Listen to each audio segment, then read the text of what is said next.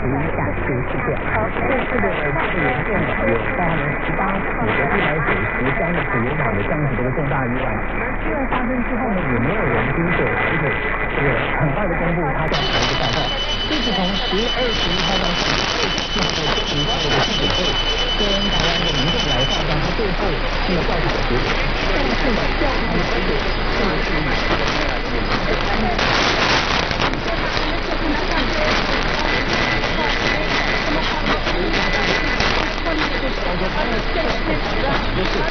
不是的列车防护系统，有 ATP 的情况之下，从台北一直到花莲，一直到台东，相信很多朋友可能到台湾来都搭过这个普马列车到花东去玩哦。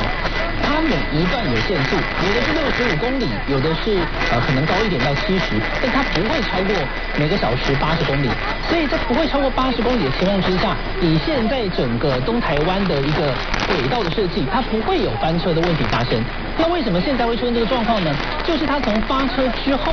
一直出现异常的状况，没有动力，一车跟八车的空调空压出问题，不断的回报，不断的通报。那么这样的情况之下呢，一直到最后呢，他决定把这个 ATP 关闭，而且呢，他关闭之后呢，速度动力回来了，可以往前走了。因为他一直误点，他不但个人可能事后要遭到处分跟罚款，他对于整个的旅客的行程呢，也是耽误非常多的情况之。下呢，他关掉了 ATP。好，那现在台铁就讲了，这个司机员他关 ATP 没有通报啊，是不是重大的一个瑕疵，造成了一百四十公里时速的过西马站，然后重大意外都是他的错。但是大家要知道，这根本就有通联记录。从二十一号到二十四号整整这么的四五天当中，你早开始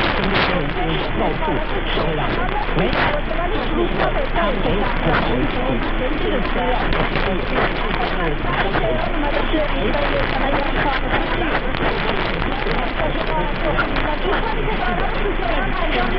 试。